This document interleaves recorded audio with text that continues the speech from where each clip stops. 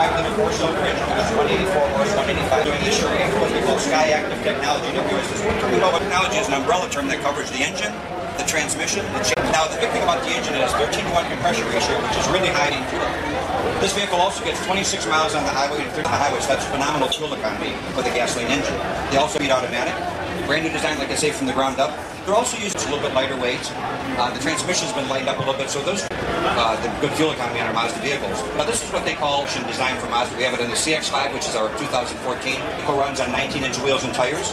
Like I said, it's a six-speed manual. They start around $20,800 for the sport model, which is fabric interior. Where we have a bunch of vehicles also. We have the sport model downstairs, which is around 20, about 31,000. But it has tons and tons of new safety features, indicators in the side mirrors. This even has what we call um, miles an hour or less through like a parking lot. If somebody was to run in front of your vehicle, really good uh, safety features on this vehicle.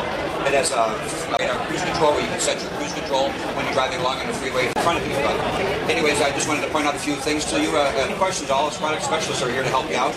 Uh, we also have, a, you can jump inside, there's a couple minute ride. Like